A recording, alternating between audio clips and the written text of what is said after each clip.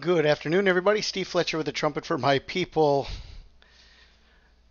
September 7th, 2021. And uh, the reports just keep coming, folks. These are biblical reports, reports of current events t- tied to biblical prophecy. And uh, this is very unique. This story right here is very unique because we have a prison break that took place yesterday or a couple days ago out of an Israeli prison. And I found this article here on Haaretz.com. Highly likely that Palestinian prison escapees crossed into Jordan. Wow. This is very biblical, okay, people. They're escaping from Israel and they're going into Jordan looking for a hiding place in Jordan. Okay. Israel Israeli authorities say no prog- progress has been made in search for escaped prisoners.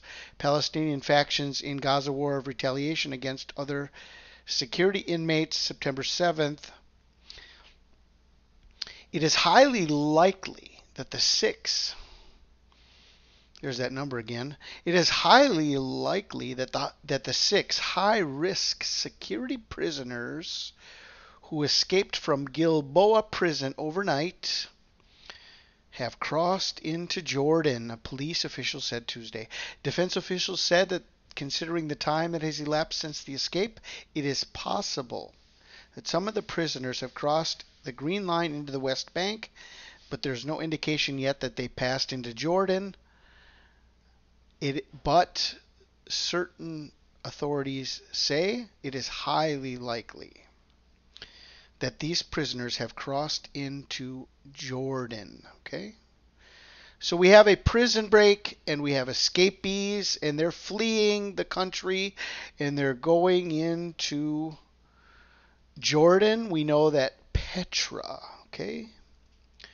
Petra is the place the Bible talks about when the Jews begin to flee during the Great Tribulation. Okay, they're going to be going into Petra, Jordan. Petra is a place prepared by God.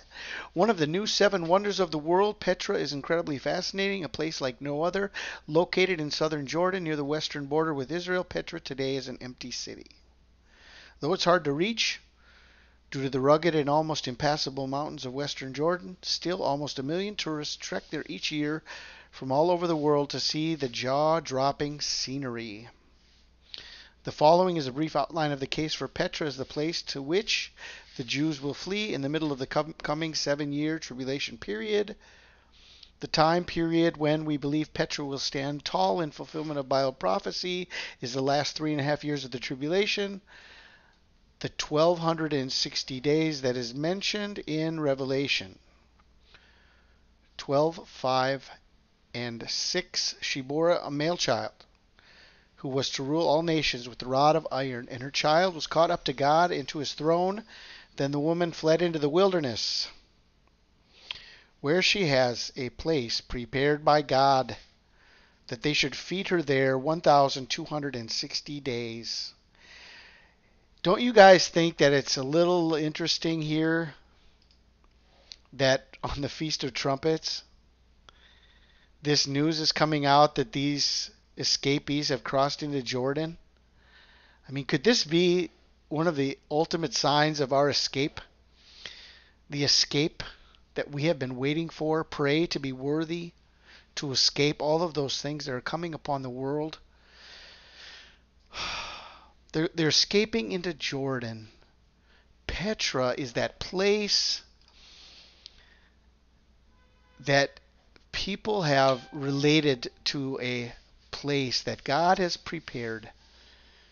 Is this another sign that the Great Tribulation is just about to kick off here? I'll leave the links for you guys in the description box. You can continue studying on your own, look up more about Petra, understand, pray ask what the Lord is speaking to his people. Feast of Trumpets is upon us. I pray you guys are blessed. This is Steve Fletcher with the trumpet for my people, the sign of his coming revealed.